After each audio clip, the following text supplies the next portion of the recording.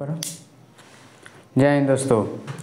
हमारा अगला जो जीके का जो प्रश्न है, गंगा नदी के किनारे बसे प्रमुख नगर कौन कौन से हैं? जिसका ट्रिक्स है काना बाप हवाई वेग से भागा।